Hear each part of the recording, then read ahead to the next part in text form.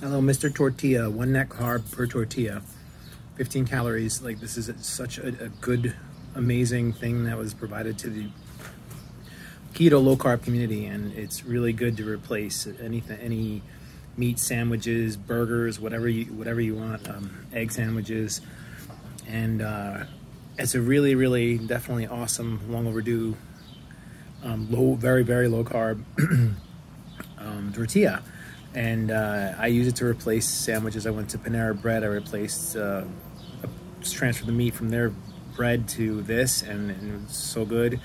Uh, definitely long overdue and, and, a great thing. There's a lot happening here. You're gonna look at this mess and say, "What the hell is that?" And that's some burnt ham and egg and deliciousness. It's very ugly, but some often the the ugliest dishes taste the best. That's some keto BHB. I'm gonna do the glucose and keto measurement um, after I take some, probably tomorrow. That's Franz, Franz. And this is another awesome thing. So one slice is lots of fiber, is zero net carbs because it's all fiber. And it actually tastes decent, tastes pretty good. As far as regular bread,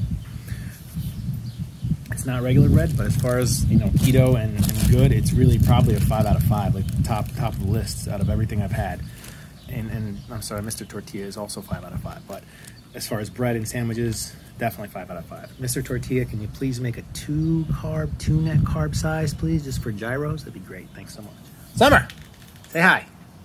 Beryl, say hi.